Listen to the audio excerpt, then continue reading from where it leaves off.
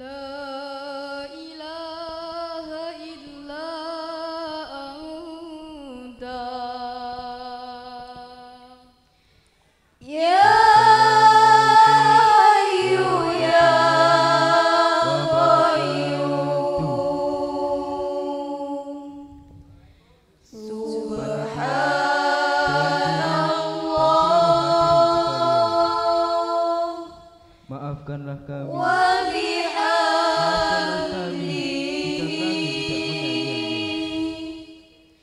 Semoga Subhanallahil azim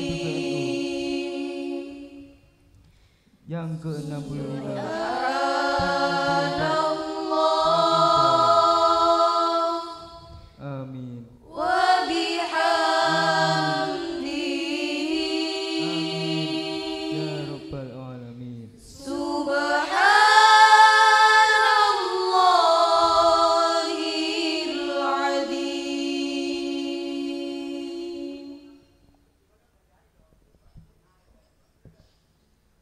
صلى